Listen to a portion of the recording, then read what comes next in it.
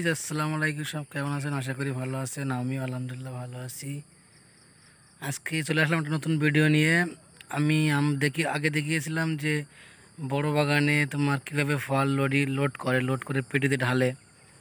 আর সবাই কমেন্ট করছে যে, ছোটো বাগানে কীভাবে ফল হাতে বের করে, কি ট্র্যাক্টরে বের করে? তা ছোটো বাগানেও ভাই ছোটো ট্র্যাক্টর আছে বের করার জন্য।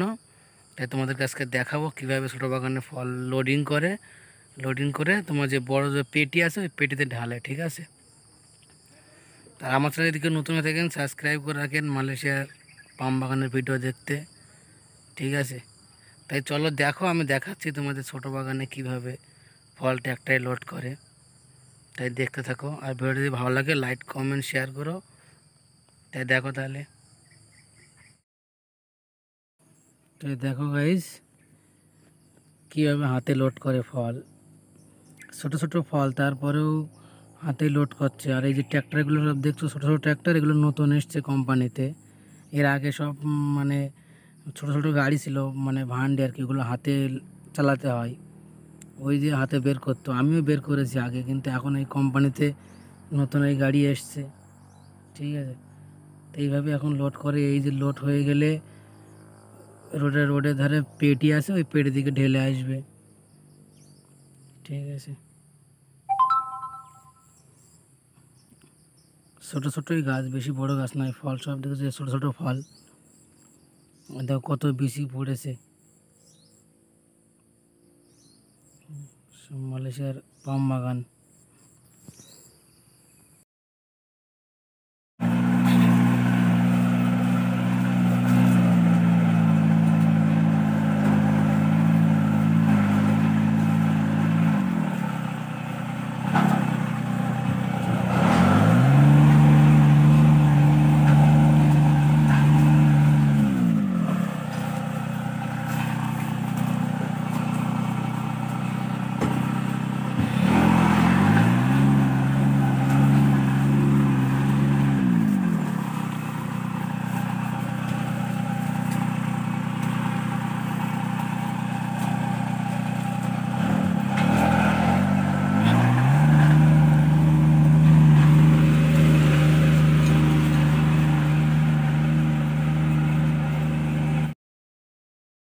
এই ট্র্যাক্টরে কিন্তু প্রচুর আওয়াজ, ওই জন্য আমি সাউন্ডটা রিমুভ করে দিয়েছি তার জন্য, কথা বলার জন্য।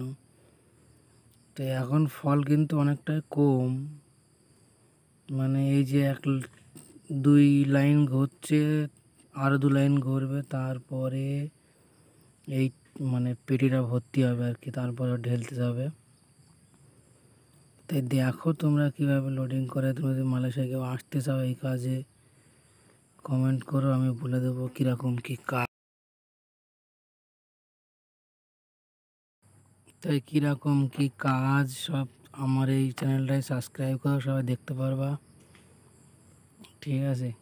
মালয়েশিয়ায় আমরা কীভাবে কাজ করি, কী কাজ করি, কীভাবে ফল কাটি, কীভাবে ফল লোড করা হয় আরও অনেক কাজ আছে, ঠিক আছে? যে সার দেওয়া এগুলো এখন সার তো একটু বন্ধ আছে। তিন মাস অন্তর অন্তর সার দেয়। সার দেওয়া চালু হলে আমি ঠিক তোমাদেরকে দেখাবো কীভাবে সার দেয় গাছে ঠিক আছে? আর সবাই জিজ্ঞাসা করছে, আমার কোম্পানির নাম কি? আমাকে মানে সেমি ডায়ারবি প্লান্টেশন যেদিকেও আসতে চাও, দেখো এগুলো ছোটো গাছ এখনও ফল হয়নি। যেদিকেও আসতে চাও, তাহলে দুই মাস পরেই কোম্পানি ডিক্লেয়ার করেছে কলিং খুলে যাবে আর কি। কেউ আসলে আসতে পারো।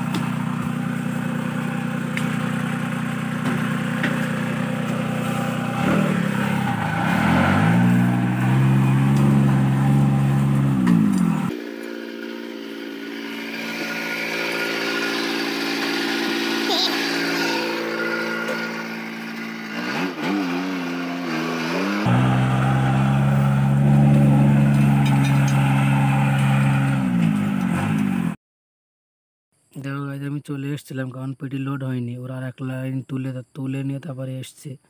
আমি এখানে এসে দে- এখানে আসলাম পেটির কাছে। এই যে ঢালছে। এটা এটা সবচেয়ে বড় পেটি। এই এই যে ট্র্যাকটা, ছোটো ট্র্যাকটা, এরকম দশটা বারোটা ঢেললে পারে এই বড় পেটি লোড হবে। দিয়ে নিয়ে যাবে যেখানে তেল হয় আর কি, কারখানায়। লরি এসে নিয়ে চলে যাবে।